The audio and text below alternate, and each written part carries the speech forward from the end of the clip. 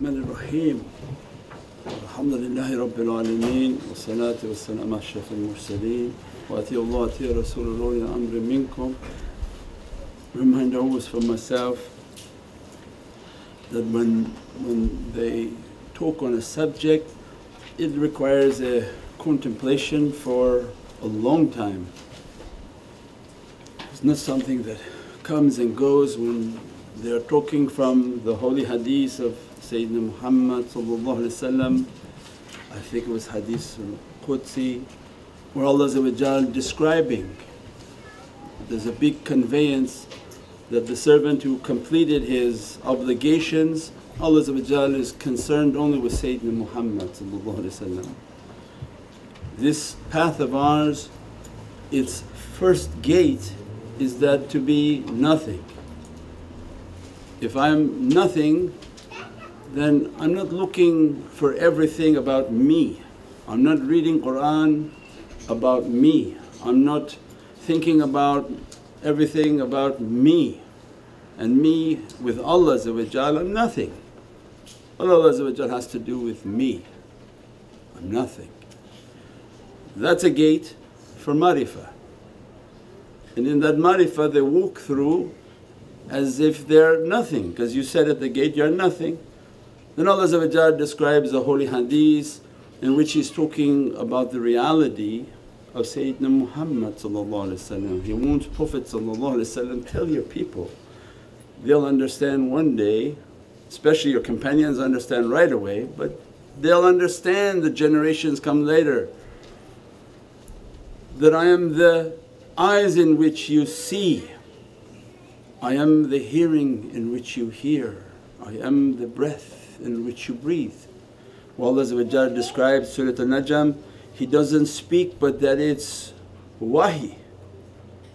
Uhi al-Qur'an means everything is coming out is Holy Qur'an from the heart of Sayyidina Muhammad and he doesn't speak except that it's revelation.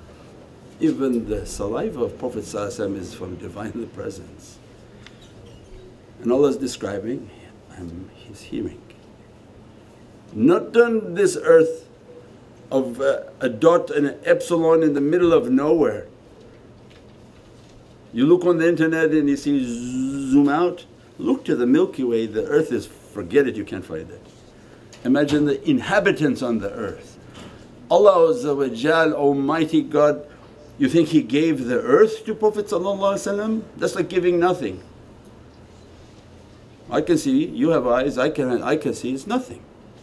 Allah of said, no, this, this entire universe, everything created, sakhar lakum ma fi samawati wa ma fil ard wa jamia. I have given you whatever is in the heavens, whatever is on the earth and anything in between in case they come to argue with you later on that Allah didn't include the souls. No, no, jamia everything, everything in creation Allah said, give to you. Then the hadith comes because it's like a tasbih, you have to put the beads together. Allah doesn't put it on your plate for you, He puts it all in little beads so that you attend with the shaykhs and they'll, they'll sew your beads together and give you a tasbih of your life so that you have a marifah and an understanding. When Allah describes that, I have given everything to you then Allah come back and begin to describe that I am His hearing he hears with Allah's power. When Allah gave Ahmad He gave the hamd, the praise of all praisings of all these universes, Allah bestowed alif, His asa. Said, this is my support. You are now of a category of alif. Izzatullah where Allah's reality is hidden. And Allah convey the izzah to the hamd and make it to be Ahmad Then begin to describe that your praise is the power for this entire universe. And I am the alif in your heart. I'm the power and the qudra within your heart Then the hadith, holy hadith comes to describes, I am his hearing I am his seeing I am the breath in which he breathes, the tongue in which he speaks. The hand means the power of Allah's power or in the hands of the soul of Sayyidina Muhammad his qadam and his movement in malakut. They're only interested in the world of light. Their tafsir is not interested in this world of mulk. It means nothing. what do you want to know about the mulk, where the pizza shop is, where the coffee store is? You're not going to find anything of any value here. They're going to teach you from the world of light. So Allah now is describing this world of light that this soul of Sayyidina Muhammad hears with Allah's hearing, sees with Allah's seeing, speaks with Allah's speaking, breathes with Allah's breathing. Means a nafas rahmah rahmah wa ma arsalnaka rahmatan lil alameen its nafas is also from Sayyidina Muhammad means he's the power that powering everything. And Allah is on his heart. Allah is the center of power of that reality that can never be seen. So then when Allah described that His power never sleep and slumber overtakes Him. When you're talking about an authority of light then Allah don't think through the body this light that covering entire universes, it doesn't sleep. The power of the soul, Nur al-Anwar was Sirat al-Asrar, the secret of that light it never sleeps, it never slumbers and is ever vigilant over everything. This light is vigilant over everything.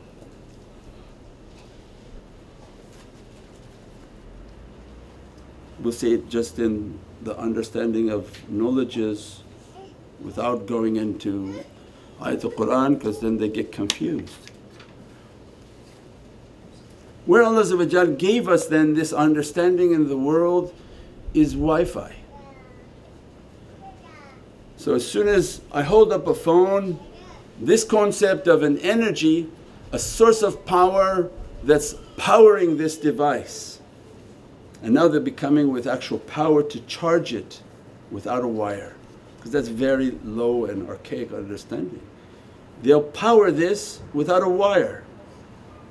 They'll give information to it without a wire, it's Wi-Fi. So the Wi-Fi for us is to understand that Allah saying, why is this so difficult for you to understand that in the center of all of this creation there's something called Muhammadun Rasulullah and he's emitting a Wi-Fi signal for the entire of creation. And that reality is Hayy and it's Qayyum. This qudra and power that coming out is a soul, we're not talking about a body. We're talking about a, a light like a star that even we can't imagine what type of light that is and every photon of that light like a Wi-Fi it's coming to you right? It's hitting you and powering you. If that Wi-Fi and the signal of that drops from you, you cease to exist. And that's why Allah described that fiikum. His signal is entirely around you and in you. Everything about that light is powering you. Look to one person and see that 4 trillion cells within your body. Every cell has a signal coming, every cell is like a mobile phone. Every cell in the body needs to know what are its coordinates. There is nothing random in Allah's creation. Every cell needs to turn. Are we turning right? Are we turning left? Are we alive or are we dying? Are we healthy or are we sick is what And Surah Al-Qadr?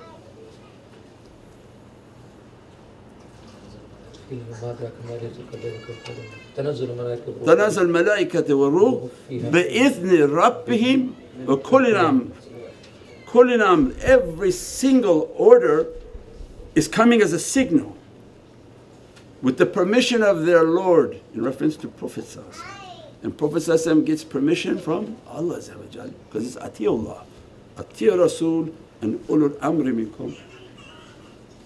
So it means this Wi-Fi signal is coming out, powering everything. Every cell in the body needs to know its coordinates. Every cell in the body needs to know if it's alive, it's dead, it's sick or it's healthy. Every organ in the body has to know is it beating or it's not going to beat. At every moment it gets its coordinates. Every ant, every sustenance, every flower, nothing just like if you cut the signal now, if you don't charge it, it's dead. Doesn't matter how fancy the box is. And if it doesn't get a signal, there's no video, there's no internet, there's no phone call, it's nothing. Same with the flower. The flower is, is in need of that signal. With the signal comes, the flower is growing, the flower is blossoming. Means everything in this creation requires that signal. That signal, it's Hayy, it's life. Allah is not within the ocean of Hayy. Allah said, I created Hayy to test you. I'm not in your understanding of living. When Allah loves His servant, He wants to bring them towards His marifah, realities, not of Himself.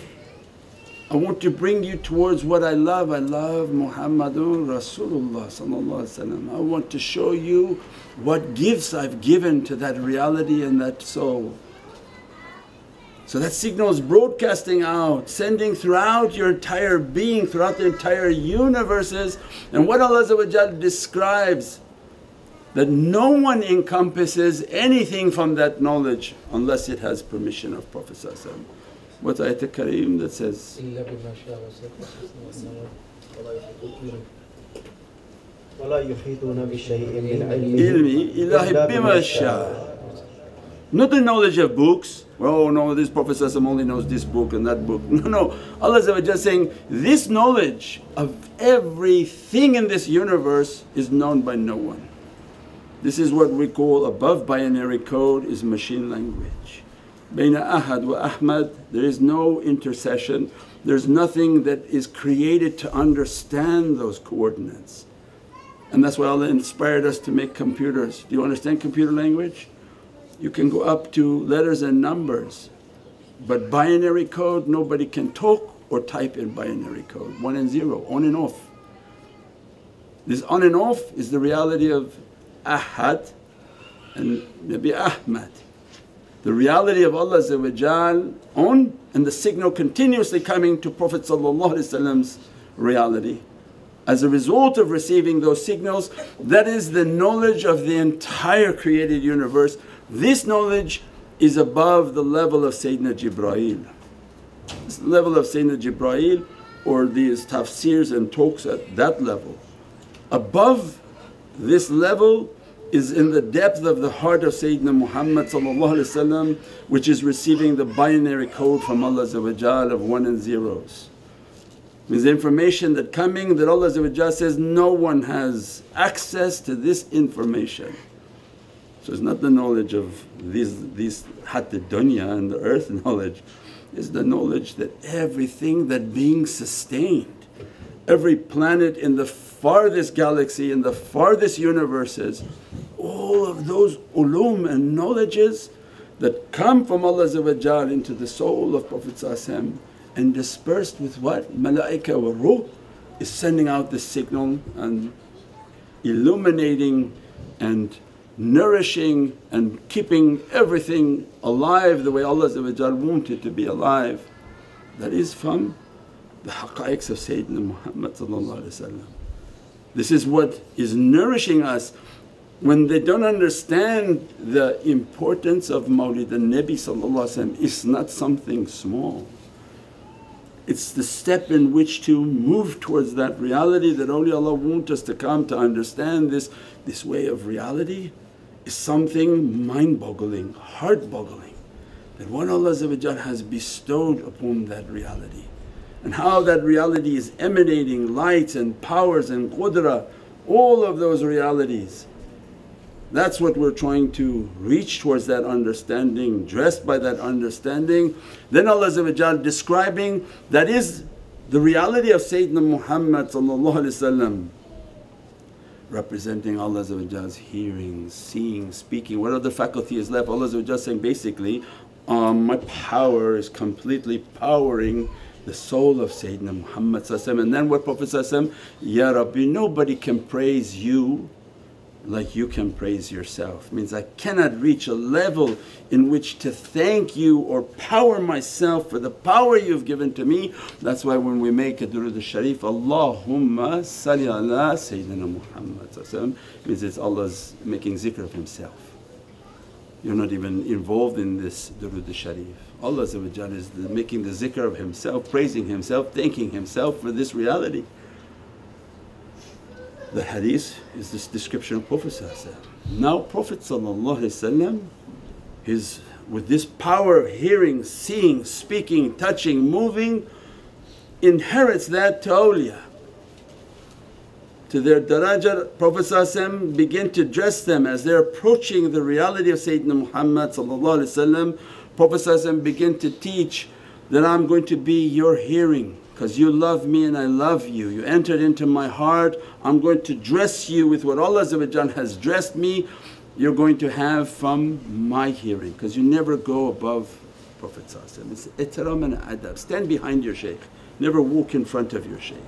Don't think yourself to be in front of him, walk behind him. What do you think about Prophet Could you dare to walk and keep your back to Prophet No. So how you can even talk in that sense? So everything's always behind. That Allah gives everything to Prophet and we come to the door. That's why these salawats and these nats are powerful. Only through this praising you can reach that door. You can pray all you want in your masjid and you never will achieve even a drop of that reality because the salah doesn't open that. Your zakah doesn't open that. Your hajj definitely doesn't open that. What opens that is Sayyidina Muhammad is when you get to the associations that are praising and loving and loving and loving, as soon as they enter into the door of Sayyidina Muhammad he's dressing them, blessing them, his, his what we just described this power. Can you imagine the hearing of Prophet is now from the whole universe? We can report this, we can do this for like 10 years, I don't think we get the depth of what's really coming is that this energy now begins to like a microwave hit you at a strength that you can't imagine. It's a power for the entire universe. As soon as you praise one time upon Sayyidina Muhammad he asked just one time from his nation, he wants to give the greatest gift to his nation. Praise me one time, you don't know what Allah dressed me with. Because then Allah will send my nazar to be upon you, send my soul to be upon you. What does that mean? He said, My nazar will be on you. If my nazar is on you, these eyes that power the entire created universe will be powering your entire reality. That's why what was that? they shut through the universe in their reality. They reached a level that nobody could understand. They said, Was this from your salah? Was this from your zakah? Where was this from? My love. Praised one time and all these doors opened for me and dressed me, blessed me, cleaned me. What my sin? They don't have any sin in the presence of that reality. How Prophet's eyes are dressing them, blessing them. How Prophet hearing, dressing them, blessing them. What type of qudra and power dressing upon these ahbab, these lovers. Then we understand now that dress is upon the shuyukh and the awliya and the now, what do the shaykhs have from that dress? Because Allah says, fiikum, that that light is amongst everyone. So then these awliya, they're dressed from that hearing of Prophet they're dressed with the eyes of Prophet they're dressed with the tongue of Sayyidina Muhammad they carry the hands and the fragrance of Sayyidina Muhammad they carry the qadam and the, and the footsteps of Prophet means everything they're doing they're trying their best to do in the way of the ridha and satisfaction. Ilahi anta maqsoodi wa ridat Ilahi anta maqsood wa ridat. Their whole life is we trying our best, it's not an easy thing to accomplish. Or what they want us to know then these awliyaullah they have the eyes of Sayyidina Muhammad on the earth and they spreading that power. That's why when they describe the qudra and the power of awliyaullah imagine when they have that type of vision what they see, what their soul is empowering. Because their eyes have a Wi-Fi and they send out the signal that Prophet wants to be sent out. That's why anything dead in their presence that's why mahya dunub muhya al-qulub. Right in, in the, the qasidah we're reciting. They can obliterate your sins and revive your heart. Because you're without a signal you're like dead filled with sins. When their eye comes and hits and scans you immediately it can come back to life in an instant. Not something difficult. Their hearing is dressing and blessing, their vision dressing and blessing, their speech dressing, blessing. And then with your with your qadam you changed my whole destiny. With your with your hand you changed my whole destiny. How? As soon as they teach you from the heart of Sayyidina Muhammad your entire destiny now just changed because this knowledge will dress you and bless you and change everything about your reality. So then they change everything with their eyes, their ears, their tongue, their hands, their feet. Now imagine that light is hitting you, then you have to understand they're actually in you.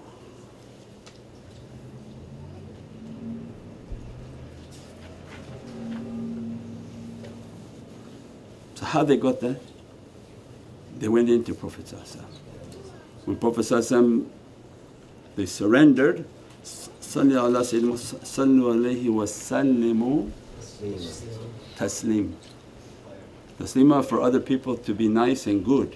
When they reach their taslima, at that stage Allah will order them taslim, submit to the king. Put yourself down, you are nothing. Repeat what the angels understood of ihtiram and you're nothing. وصلوا على Sayyidina Muhammad sallimu taslim. Taslima was to make you beautiful. But ahbab they're taslim, they're ulul am, they're waiting for the command. As soon as they taslimed and submitted for the order, waiting for the order, Prophet's light has overtaken them, pushed them out of every type of negativity and becomes their hearing, their seeing, their hands, their feet means the light of Prophet is inside of them. When they go out, fikum, like little ships, they go out onto the earth. With what light they're coming to you? Their light begin to enter into you and become your seeing. They see through your eyes, they hear through your ears, they can speak through your tongue, they can move through your hands, they can inspire your qadam and your feet. And you say, well I want to experience it, then get yourself out of the way. They're already inside of you but you can't, you're fighting the inspiration that coming to you. Who's fighting is your big nafs. The big nafs is in there saying, no I'm going to hear with my hearing and I'm going to see with my seeing and I'm going to talk definitely from my talking. So this is the big battle inside. When Allah inspire you to be amongst awliya through presence and through video wherever they're reaching means they've reached now inside of you. Malakut, whether you think you're hidden, fiikum, your the light is if it's next to you, you think that you have a hard time entering within you? The door of your body is like so secure they can't, every shaitan can enter inside of you. Allah didn't give them, means their light began to move inside. As soon as they come inside, they can hear through you, whatever you're hearing they can hear. Whatever you're seeing they can see. So then that's why the adab of tariqah, keep your vision down because they look through your eyes and they don't like what you're looking at. They can hear through your ears and they don't like what they're hearing. So then they begin to move their energy out. Who's the one who fails and who's the one who succeeds? The one whom Allah described in Qur'an, the one whom purified himself truly has been given a gift. Because as soon as he purifies himself, especially in the company of this reality, he, he watches and she watches what, he, what she hears and tries not to hear bad and begin now they can hear through the ear. Because the truth and false they don't play with each other. When the light of truth comes it wants you to have clean hearing right and it hears through you. When you control and clean your sight it will begin to see through your eyes and that's the madad. You clean your tongue and what you say and how you say it they'll become the speaking in which you speak. That's how they're doing it. Prophet is hearing through them not because they're dirty people but they took a life in which to clean themselves so that Sayyidina Muhammad would accompany their hearing and say, now I can hear for you, I'll give you from that gift. So then they say, clean your speech so that you can speak on that behalf and that is the whole concept of the madad. The madad is to train in which you're nothing, the train in which you're nothing get yourself out of the way, get your opinion out of the way, get all your thoughts out of the way and take a path in which to be nothing. And they keep testing you to see if you have an opinion, they don't care for it nor do they want it because it's that opinion that got you in trouble and brought you here in the first place. It's all your character that's bad that has to be destroyed. When you have absolutely nothing left, nothing left, nothing left and you died within yourself then all of these faculties can come to life that they will give you the hearing and you hear what nobody can imagine to hear. You see what nobody could imagine to see. You speak realities that nobody can speak from that reality and that becomes the inheritance of that hadith, holy hadith. We pray Allah dress us bless us. These are the blessings of Mawlid al-Nabi and the, the dressings and gifts from the heart of Sayyidina Muhammad inshaAllah. Subhana rabbika rabbil izzati amma yasifoon mursaleen walhamdulillahi rabbil alameen bi hurmati Muhammad al-Mustafa wa bi al-Fatiha. Welcome to Muhammadan Way YouTube channel, your premier destination for videos on Sufi spirituality, classical Islamic teachings and realities of the soul with a library of over a thousand videos and new titles uploaded weekly. Join us to discover true meaning and inner peace in our often troubled world. Click the link now to subscribe.